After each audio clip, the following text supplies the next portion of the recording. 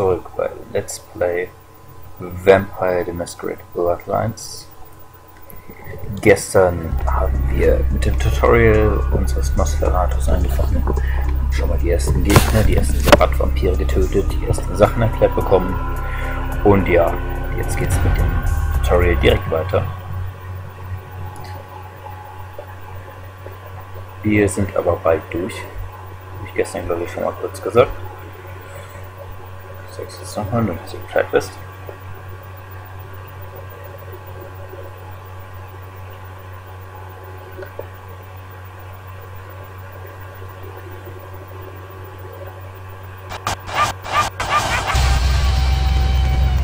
Wortklang ist gerade freaky.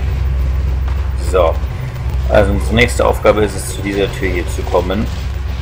Und da steht der Typ da. Der Typ soll uns dann natürlich nicht sehen. Machen wir das? Indem wir was werfen. Jetzt kommt er hier hinter. Jetzt muss man sich an ihm vorbeischleichen. Und durch.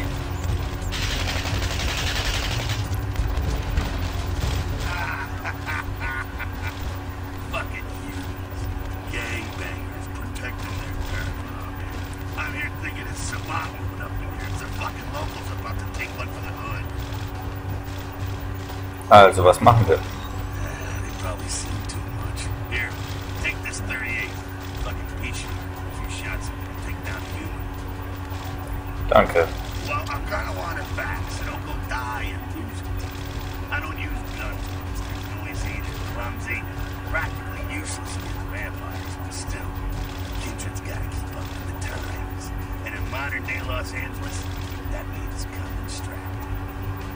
Es sind natürlich nicht alle Schusswaffen gegen Vampire nutzlos. Ähm, die haben natürlich genauso wie die Nahkampfwaffen verschiedene Tödlichkeiten. Nutzlos gegen Vampire.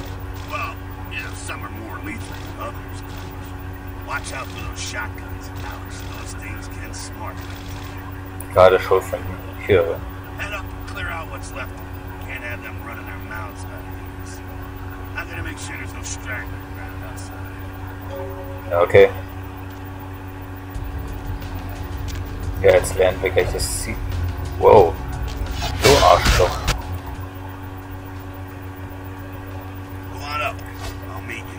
Ja, ich würde den gern. Äh. Ja, geil, ne? Jetzt ist die Tür zu.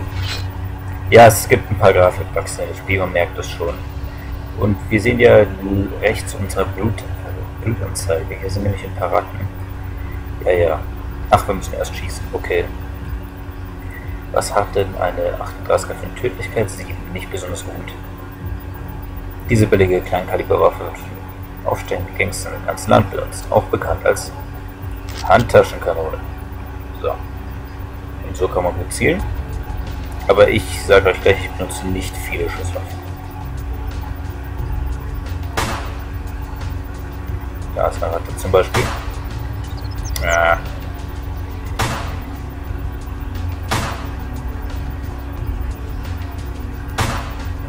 Ich schieße sein Magazin schnell leer. Naja, zwei von vier getroffen. Gut.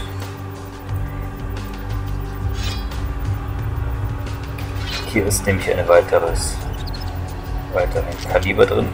So weitere Munition. Und jetzt sehen wir, wir sehen ja unsere Blutanzeige rechts und jetzt sehen wir, wie sehr Ratten unter Blut auffüllen. Sehr. Das sieht man schon. Ist eben der bestimmte Nosferatu-Vorteil. Andere Vampire würden von Ratten nicht annähernd so viel kriegen wie wir. Okay, jetzt müssen wir, er hat ja schon gesagt, das sind ein paar Gangs noch hier, so ein paar Menschen, die meinen, sie müssten groß Reden schwingen. Müssen wir uns jetzt kümmern. Die sind hier. Aus dem Weg. Made. Und du da hinten auch. So, den trinken wir aus. Wir sind in der Kampfzone, da können wir die töten. Nehmen uns mit den Munition. Kampf ist nicht die einzige Antwort für die Lösung von brenzlige Situationen. Sie können im Dialog auf Ihre Begabungen und Disziplinen einsetzen. Haben Sie die Möglichkeit, erscheint Ihre Antwort in einer anderen Farbe und Schrift. Einschüchterung ist grün, Überredungskunst ist blau. Bei anderen Clans gibt es natürlich mehr. Bei beispielsweise bei Malkavianas, die können auch wahnsinnige Antworten geben. Ähm, Venture können beherrschen, also im Reden sind Gnosis nicht die besten. Die meisten Clans können verführen, das können Gnosis wegen ihrem Aussehen auch nicht. Gehen wir zu Jack, der ist auch da hochgekommen. That's it, kiddo. Just like that, and it's all over. Everyone slinks back to their corners in the city. Das war's, es ist alles vorbei. Until the next night when the Camarilla finds some way to strike back. Barry dodge, spinning all that, and so on and so on and so on. Jetzt haben wir unsere ersten Erfahrungspunkte bekommen und unseren ersten Auftrag erfüllt. Das geht schon also immer so. Well, to be honest, came at a, an interesting time, let's say. The Camarilla, the Sabat. Uh, in LA, these are the new kids on the block. There's already plenty of Kindred had stakes down in California long before that. Now, we got every ancient Kindred rivalry playing out all over the city. A lot of tension out there. A lot of fear. A lot of jittery, high-strung predators clinging to their little pieces of eternity. Hm. Was für eine eh, interessante Antwort. Hm.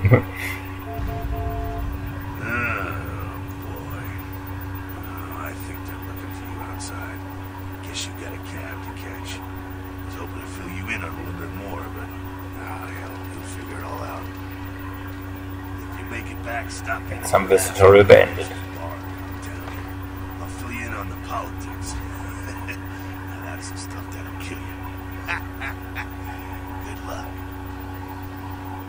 Danke. Ja, wir haben zwei Erfahrungspunkte bekommen, die wir natürlich verteilen können. Ist klar. Und wir haben jetzt eine Zuflucht. Vom Prinzen, die wir benutzen können, wenn wir zum Beispiel einen Computer haben. Viel mehr braucht man eigentlich als Vampir auch nicht.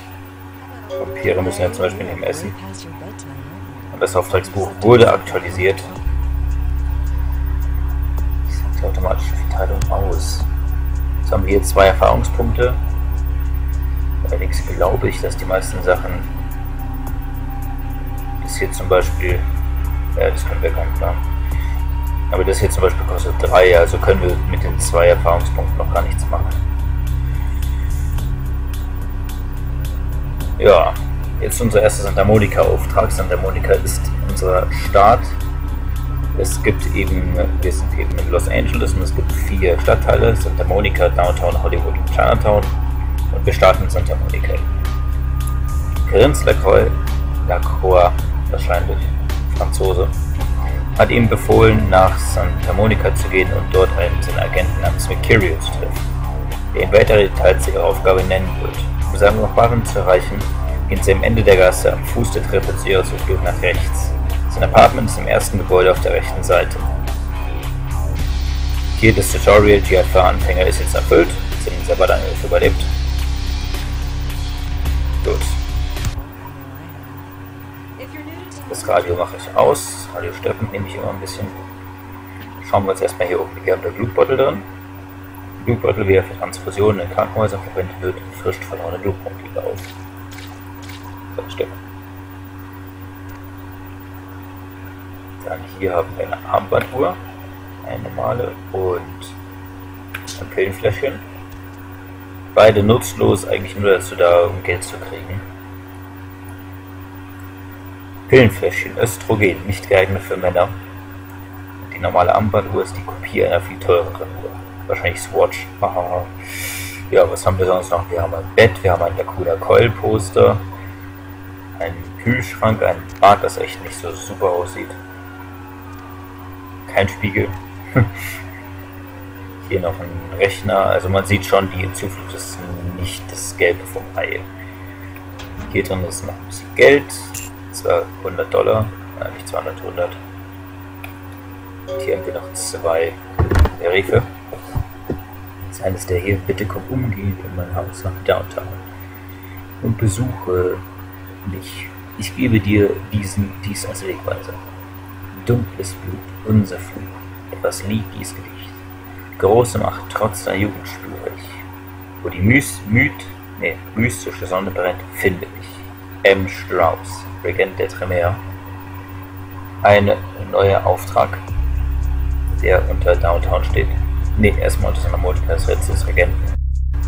Ähm, aber wir können gar nicht einfach so Stadtteile wechseln. Das heißt, dieser Auftrag wird noch eine Weile warten, bis wir ihn haben. Hier der andere Brief von Mercurio, oder besser gesagt die Notiz. Hey, das Computer, das Passwort für den Computer ist Sunrise. Spar dir die Mühe. Schenke ich dir. Hab dir eine Mail mit meiner Adresse geschickt. Komm mal vorbei, wenn du fertig bist. Mercurio. Ja, dann schauen wir doch mal in unseren E-Mail. Wir haben fünf ungelesene E-Mails. Das Passwort hat uns ja gelernt. Das ist Sunrise. Eine Erinnerung von Lacroix. Mercurio meldet sich, wenn du in Santa Monica bist. Triff dich mit ihm und rüttel dabei nicht herum. Was auch immer es L heißt. Brauchen wir ja nicht mehr drüber deleten. Die nächste. Wow, ist der Dickmann von Schlappschwanz. Penisvergrößerung. Da geht keiner mehr stiften. Ruf gleich an. 1,800 Big Stick. Ja, Werbung kriegen wir auch öfters. Also äh, können wir das auch nicht. Das nächste ist Kilpatrick's Crimputer. Von A. Kilpatrick at Dirt Cheap Internet. Sie suchen in nichts als einen Ehemann, der mal wieder die Alimente nicht gezahlt hat. Oder den Mistkerl, der sie zusammengeschlagen hat. Ihre Suche hat ein Ende. Mit Arthur Kilpatricks Crimputer können Sie nahezu jede Person finden, über die ein Akte vor Ihnen liegt. Und das ist heute bei fast jedem der Fall.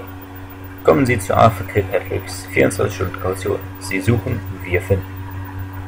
Arthur Kilpatrick wird später noch für eine Quest wichtig, aber fürs Erste ist er für uns unwichtig. Nächste E-Mail ist von Kirio. Treff, willkommen. Hey, willkommen in der Stadt. Komm mal vorbei, wenn du Zeit hast.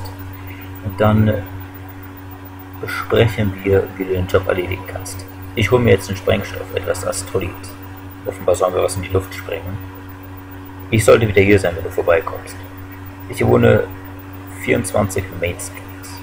Ich weiß, das war jetzt nicht ganz englisch, aber ist egal. In Nummer 4. Geh bis zum Ende der Gasse. Es ist das erste Gebäude auf der rechten Seite. Und dann haben wir noch zuletzt eine E-Mail mit dem Betreff Die Eröffnung von einem Freund. Man weiß bis zum Ende nicht, wer das ist. Das Spiel beginnt. Der Bauer rückt vor. Von diesem, ich sag jetzt mal, diesem User namens ein Freund kriegt man öfters E-Mails und man weiß nie, wer das ist. Ich habe ein paar Theorien, aber da wir jetzt noch ganz am Anfang sind, kann das auch sein. Gut. Ja, ein bisschen Zeit haben wir noch. Schauen wir uns im sonstigen Haus um. Hier in den gegenüberliegenden 507 könnten wir knacken, müssen wir aber noch nicht. Ist später was Interessantes drin. Dann hier runter in 505 ist meines Wissens nichts. Ich schaue es mir aber trotzdem mal an. Ja, ist da vielleicht oder so? Was für Schrottbuden hier das alles sind. Offenbar hat keiner hier in einem vernünftigen Duschwagen. Und auch kein Spiegel. So hier ist nichts. Allerdings ist die Zeitung vor der Tür wichtig. In 506 hat er nicht mal eine Türklinke. Bestimmt hat es Empfänger. Die Zeitung ist allerdings wichtig. Ein neuer Auftrag. Tödliches Fest. Leichenteile am Pier gestellt, gefunden. Polizei vor Rätsel. Karneval des Todes. In Santa Monica Pier wurden furchterregende menschliche Überreste gefunden. Vielleicht sollten Sie sich das mal ansehen. Ja, das andere ist eben nur, dass M. Strauss uns in sein Haus Downton eingeladen hat, wo man ihn finden muss und eben mit dem Rätsel. Das haben wir ja schon gelesen oben. Ja, und hier ist dann noch ein Briefkasten für uns. Der ist jetzt natürlich noch leer. Und der Ausgang. Übrigens, äh, Ladebildschirme kommen in dem Spiel recht häufig. Wegen des Ankotz, der sollte das Let's Play nicht gucken nur so nebenbei. Das kann man leider auch nicht ändern.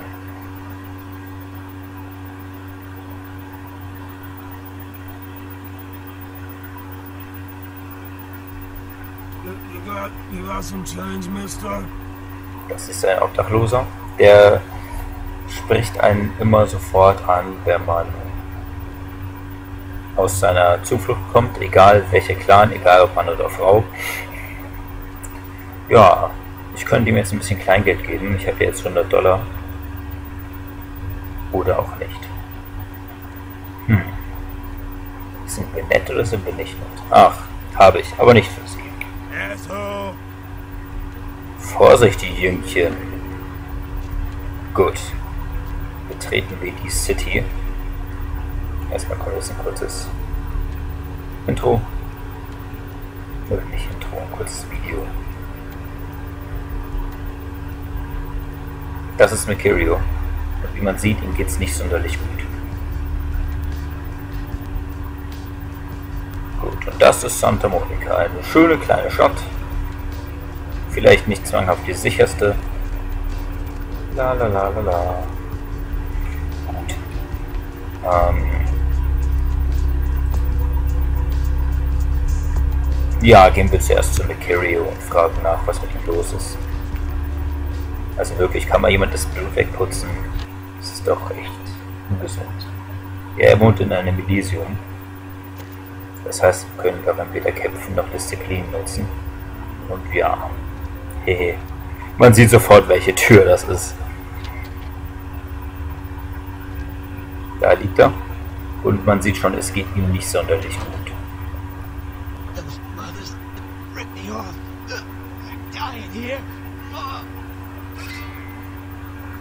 Was ist denn mit dir passiert? I got. I went. What is this lump?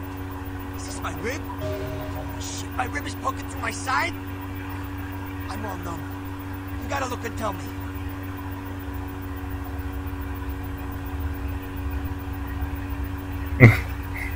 Ja, an der Rippe. Schätze, das noch fünf Minuten zu leben. Das ist eine abgebrochene Flasche. Und jetzt zeig mir, was passiert ist.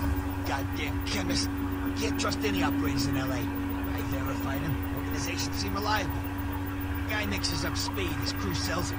Occasionally does explosives. I set up a drop. I show up at the beach with the money, right? Four of his guys, they come out of nowhere. Junky bricks hit me with a bat. it feels like I got a friggin' horse kicking it. Those cocksuckers beat me rotten, left me for a stiff. I had to crawl to my car, crawl my ass up here. The bad blood's the only thing holding me together. Shit, they got the money, they got the astrolite. Ja, du bist auch sehr intelligent, dass du in Los Angeles ein paar Kriminellen traust. Das ist natürlich auch ungeheuer intelligent. Mitleid, mein Mitleid hält sich mit ihm gerade um Grenzen, auch wenn er echt scheiße aussieht. Jetzt können wir durch den Prinzen alles erzählen. Ähm, oder auch nicht. Wo sind die Scheißkerle? Small-time sons of bitches live in a dump on the beach. Four or five of them. The one's got the explosives is Dennis. Got my money too, wie komme ich dahin? Laying in a pool in my own blood and you want friggin' directions. Right, alright. Uh, down the street, in the parking garage, stairs down to the beach. On the right. Those better not be some of my last words. Naja, wenn du jetzt noch lebst, werden es wohl nicht deine letzten Worte gewesen sein. Sonst noch etwas? Gotta, gotta get it back from him. Maybe reason with him, maybe break in. I don't know. I wanna kill him. Do whatever you people do. I blew it, I know. Ich hole das Astrolith. One more thing. About the deal. I mean it. Tell anyone about this, I'm dead. I'm begging you. I got a way of getting people what they need. You don't say anything, I can help you out. Gut zu wissen. Bis dann. Ja, er gibt sehr erfolgreiche Hilfe später. Ähm, deswegen ist das ganz gut. Mercurio? Das ist starke Schmerzen. Kann ich irgendwas für dich tun? Started leaking. I need something for the pain. Ich bring dir was mit. Zwei Aufträge. Einmal haben wir jetzt ihn gefunden, deswegen ist er erledigt. Surfing USA. Mercurio hat sie gebeten, das Astrolith, das er für sie beschaffen sollte, von einigen Junkie-Schweinen zurückzuholen, die in einer Müllkippe am Strand liegen. Außerdem hatte Mercurio es gern, wenn sie ans Geld zurückbracht. Das andere ist Mercurios qualvolles Dasein, er braucht starke Schmerzmittel. Na schön.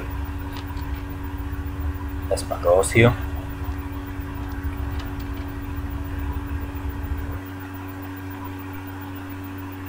Ja, ein bisschen Zeit haben wir noch. Ich, ich denke mal, wir sollten zuerst äh, das Astrolit und das Geld holen.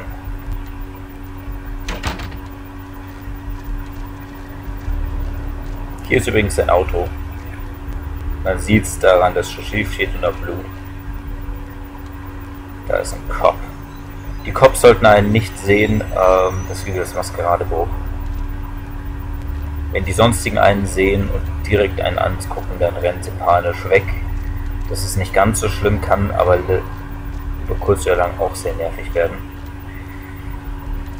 Jetzt reden wir nochmal mit ihm hier, der da vor der Tür steht. Der ist relativ nervig, aber wichtig für später. Nämlich ein Typ namens Nox. Und man merkt, er hat schon eine gewisse Ahnung. Man sieht ja auch gelbe Augen nicht unbedingt normal für Menschen. Okay, geht es etwas leiser, Kumpel.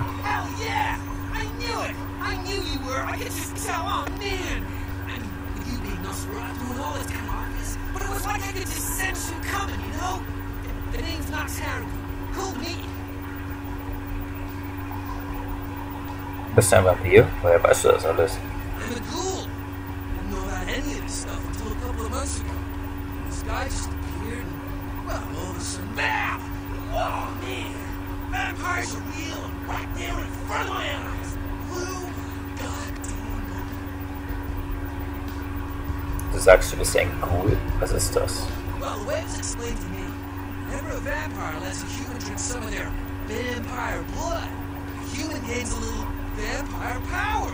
Can heal up quick and that kind of stuff. Jesus, man.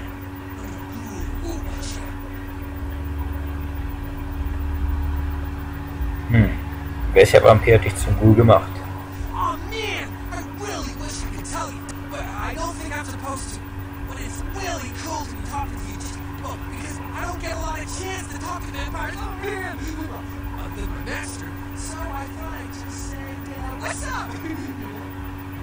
Schon, der ist relativ nervig.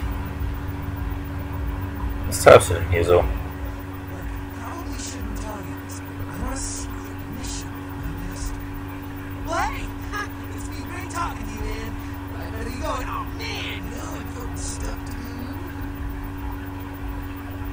Ähm, ja, was auch immer. Wir sehen uns noch. Ja, er hat uns was Neues erzählt. Er ist relativ nervig, aber das mit den Gulen sehr interessant. Ähm, wer das Pen Paper gespielt hat, weiß natürlich, was ein Ghoul ist. Diejenigen, die es nicht gespielt haben, wissen es nicht. Ein Ghoul ist ein Mensch, der von einem Vampir Blut bekommen hat und dadurch ein bisschen, dadurch ein bisschen, wie er Nox gerade gesagt hat, ein bisschen Vampirmacht bekommen hat. Ähm und dadurch sich schneller heilen kann und so weiter. Dieses Auto hier werden wir uns auch noch näher angucken. Aber jetzt gehen wir erstmal hier runter. Jetzt müssen wir erstmal. Ja, McKay hat uns ja die Wegbeschreibung gegeben. Durch die Parkhaus und so weiter und so fort.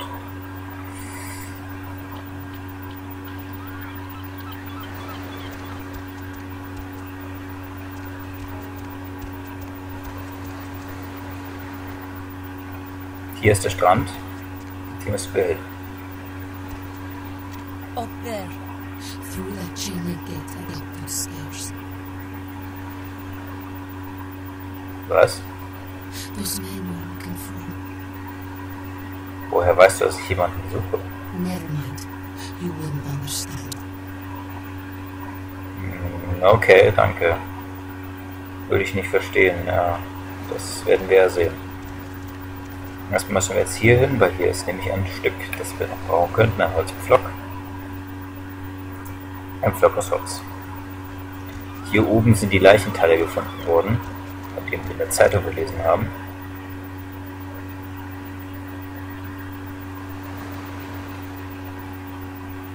Und wir sehen auch, wir befinden uns in einer Kampfzone.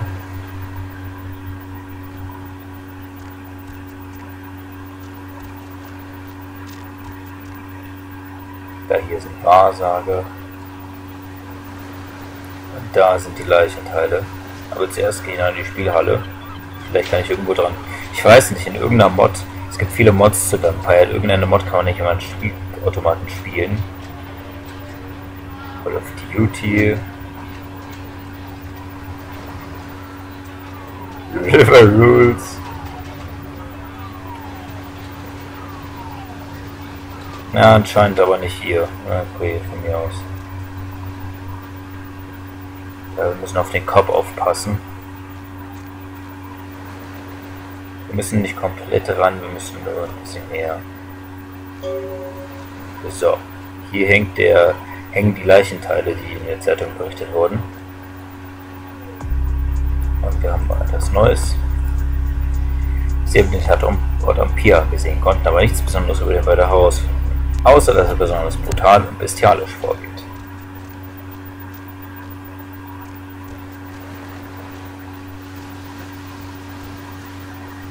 Ist äh, noch nicht besonders viel, aber immerhin, haben schon mal was rausgefunden. Ja, ich will darunter. Gut. Hier sind ein paar Leute, mit denen werden wir uns noch unterhalten. Erstmal mit dem Erstmal mit der Frau.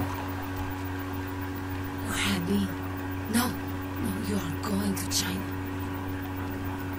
Wovon redest du da? Why is he smiling? The father. Is, is it the father behind him? Man könnte sagen, sie ist eine Art Hellseherin. Nicht wirklich Hellseherin, aber ähm, sie geht in die Richtung Hellseher. Das ist alles wirres Zeug. Ich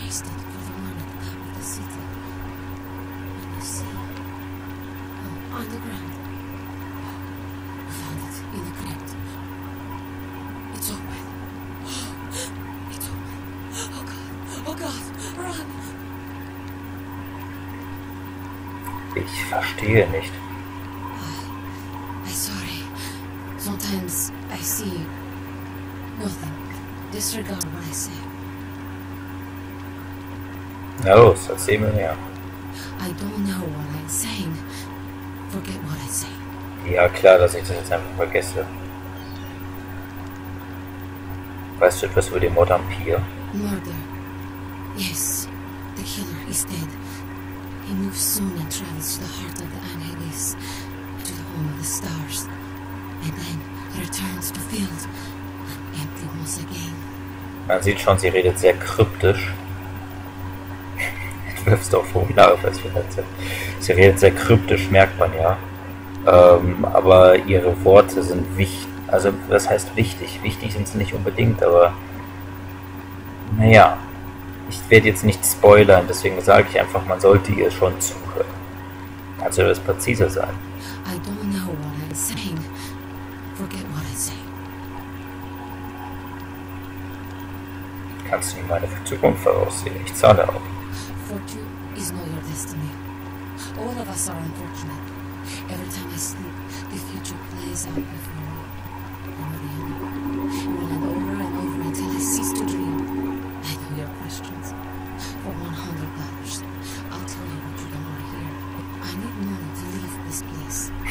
Für 100 Dollar sage ich dir, was du nicht hören willst. Wie geil. 100? Ich gebe jetzt maximal 20. Hier sind meine Fragen. Then ask again. Dass man, man zahlt 20 Dollar, aber es lohnt sich. Was passiert bei mir in den kommenden Nächten? The Crimson Sheep. He's not who he says she is, and is going to burn. Dinosaurs. He's furious. The man with the crest. The voice in the darkness. Boss. Chinese brothers. Follow the lights to the end of the tunnel. Where do you want to go? Wie gesagt, sie redet sehr kryptisch, aber naja. Ich habe ja schon erwähnt vorher. Wem kann ich trauen? The man on the couch. The lone wolf.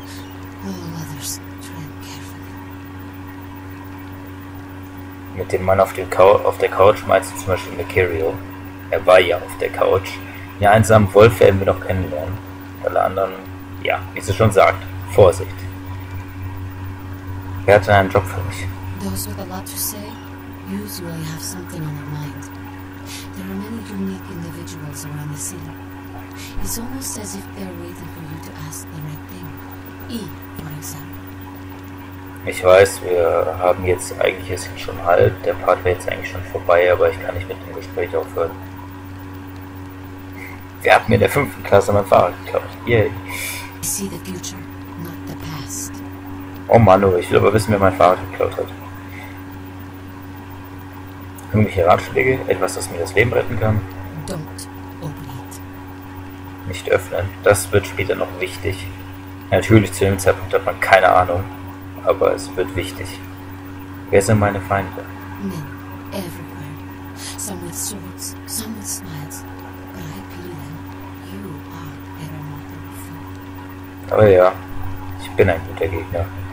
Werde ich am Ende gewinnen, wenn alles gesagt und getan ist? Whether or not you win the game matters not. It's if you bought it.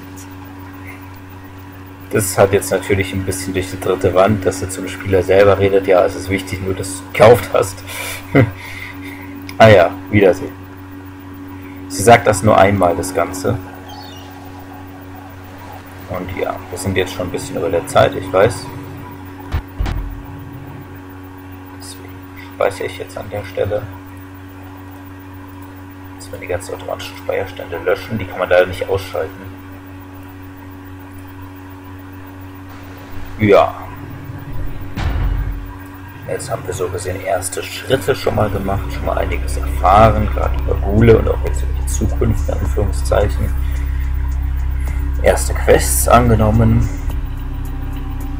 und auch die ersten EP bekommen. Ja, später kommt noch ein neues Projekt von mir. Ich weiß noch nicht hundertprozentig welches, muss ich noch gucken. Ähm, für Jurassic Park, weil Jurassic Park ja gestern wir fertig gemacht haben. Ansonsten natürlich vielen Dank fürs Zuschauen. Ich hoffe, es hat euch gefallen. Das ist jetzt der Part für heute. Heute früh habe ich ja den für gestern gemacht, deswegen sage ich das jetzt. Ähm, ja. Schreibt mir doch in die Kommentare, wenn ihr wollt. Und ansonsten bis dann. Bis später, beziehungsweise bis das nächste Mal Let's Play Vampire the Masquerade Bloodlines. Euer Back Crystal. Macht's gut, Freunde.